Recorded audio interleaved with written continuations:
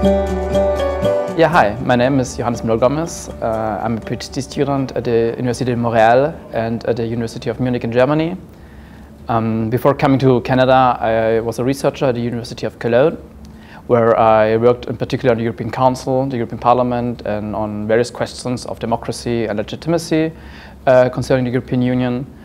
For instance, some years ago, we had a very interesting project uh, where we worked on the Spitzenkandidaten procedure and uh, the elections to the European Parliament 2014.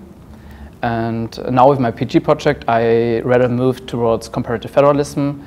And now I'm working on uh, the European Union compared to Canada in particular. And uh, in general, how multi-level systems and federal systems uh, manage to implement international agreements.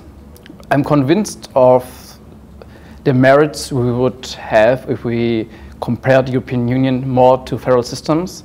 And I found that Canada would be a very interesting uh, example, a very interesting case to compare the European Union with. We've got find a lot of challenges which uh, Canada and the European Union have in common.